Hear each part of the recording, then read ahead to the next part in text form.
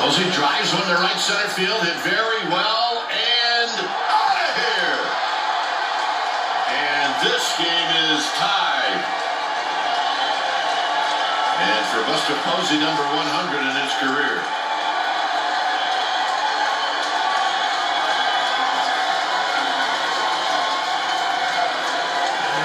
Talk about the approach with Flande. You go the opposite way. That has been the one approach that has paid dividends. Posey has burned him twice. And a double in the second inning, and here is 100th career home run. And he goes right over the right center field wall. So here's Bird.